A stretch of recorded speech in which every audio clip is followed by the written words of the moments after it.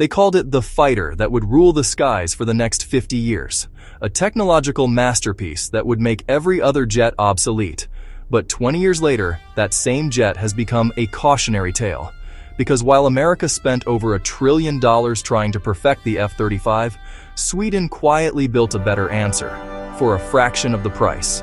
And now, after a series of joint tests and simulations, the Gripen E has exposed a brutal truth the Pentagon can't ignore. The F-35 program might have been a costly error. In modern warfare, air superiority is everything. The nation that owns the sky owns the fight. So when the United States promised the F-35 would be the ultimate multi-role fighter, stealthy, digital, unstoppable, the world believed it. It was supposed to be the smartphone of the skies, one jet that could do everything. Dogfight, strike, spy, and survive. But as the years dragged on, the costs climbed higher, and the promises started to crack.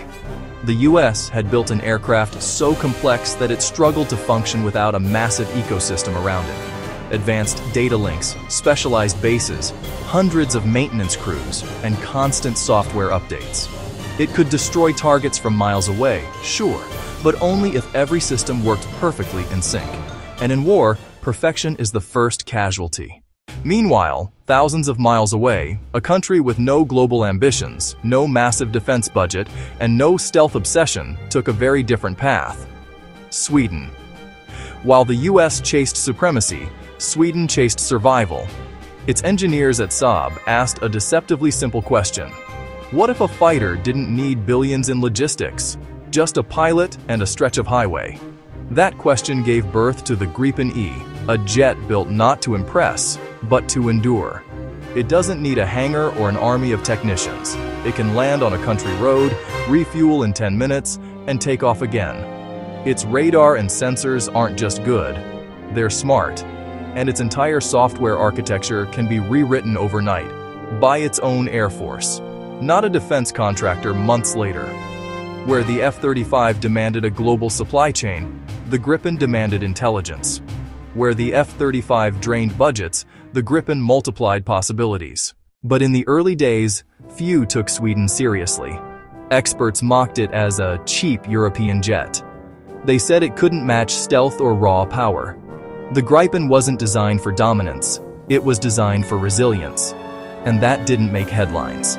Until, of course, it started outperforming the world's most expensive aircraft in exercise after exercise.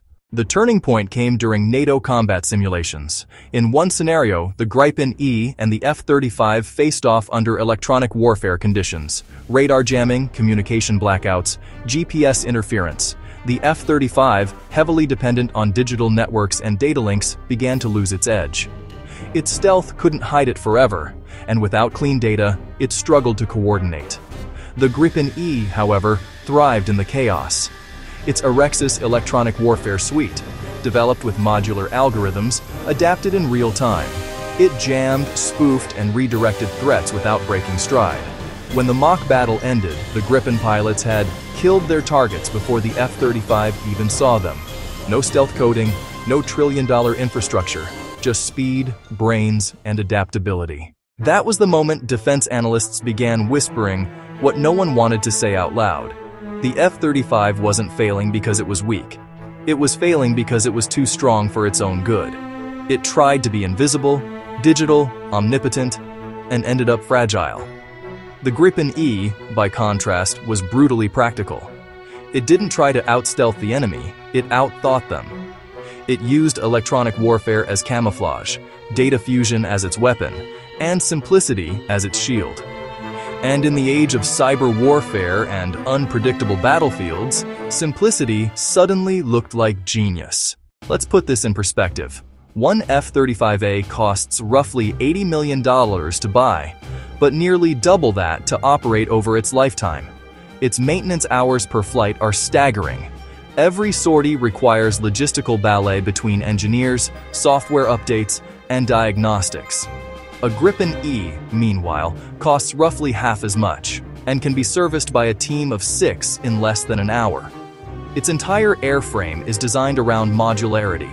Remove, replace, fly. In a prolonged war, that difference isn't just financial, it's existential.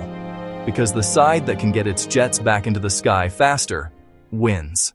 Now, imagine you're a small nation trying to modernize your air force.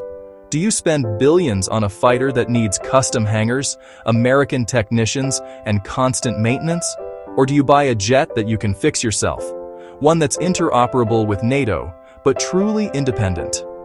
Countries like Brazil, the Czech Republic, and Thailand have already answered that question. They chose the Gripen, not because it's the flashiest, but because it works. And in today's world, works is worth more than wows. Behind closed doors, even NATO planners have started re-evaluating their air doctrines, because the Gripen E's latest data link technology allows it to network with other jets, including the F-35, faster and more securely than many legacy systems.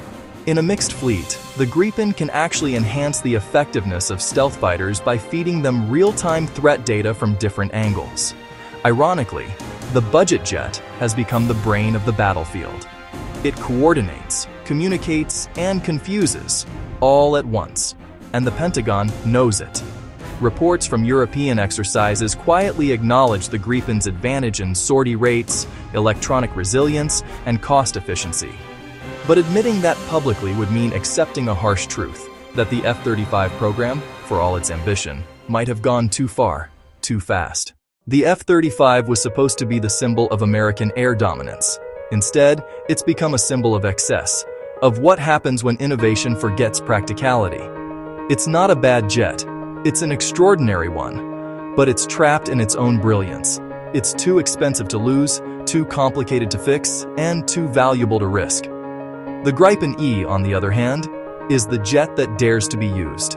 It's meant to fight, fail, adapt, and fly again, all in the same day. It's the fighter built for the real world, not the PowerPoint slides.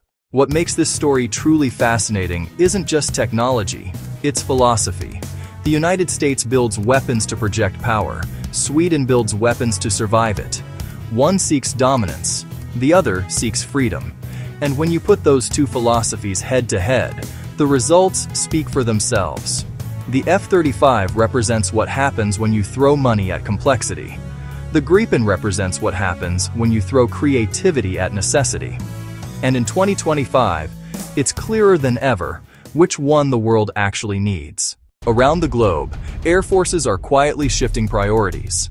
The next generation of fighters won't just be about stealth and speed, they'll be about flexibility, autonomy, and cost-effective readiness.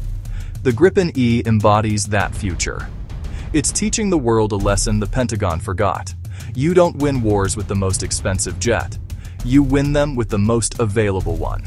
Because when your skies are threatened, it doesn't matter how advanced your aircraft is.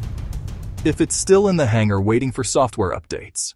And that's why the Gripen E didn't just challenge the F-35. It exposed it. It showed that power without practicality is just theater. That innovation without restraint becomes waste. The F-35 may dominate headlines, but the Gripen dominates logic. It's the fighter that redefined efficiency, proved adaptability, and reminded the world that intelligence, not extravagance, wins battles. The US built the most expensive fighter in history. Sweden built the most efficient. And now, the world finally sees which one truly owns the future of the skies.